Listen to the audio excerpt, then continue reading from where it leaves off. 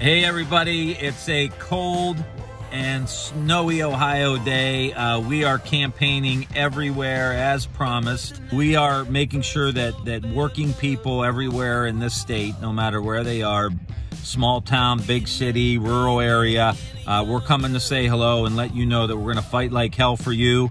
Uh, doesn't matter what the weather's like, doesn't matter how much snow's on the ground. This race is too important.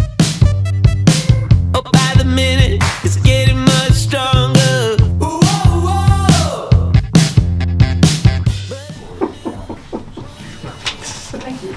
I could have scored a touchdown. you did. I did. Come on, Val. It was a big deal.